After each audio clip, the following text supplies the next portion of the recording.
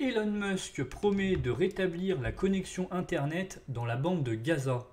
Le milliardaire américain a annoncé samedi sur son réseau social X, anciennement Twitter, son engagement à fournir une connexion Internet à la bande de Gaza, où toutes les communications ont été interrompues depuis vendredi soir.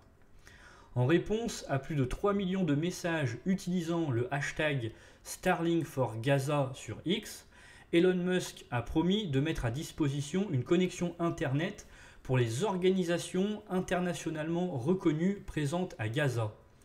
La région a été isolée du monde extérieur en raison de l'arrêt des télécommunications et d'Internet.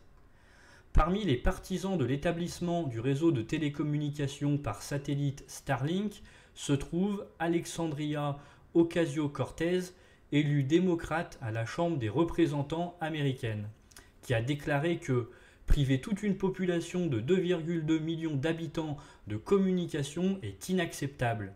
Elle s'est inquiétée du danger que cela représente pour les journalistes, les professionnels de la santé, le personnel humanitaire et les civils.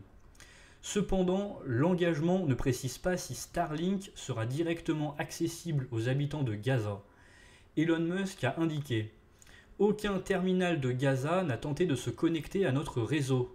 Il convient de noter que le service d'accès à Internet par Starlink est exploité par SpaceX, la société d'Elon Musk, et avait été déployé en Ukraine peu de temps après l'invasion russe en février 2022.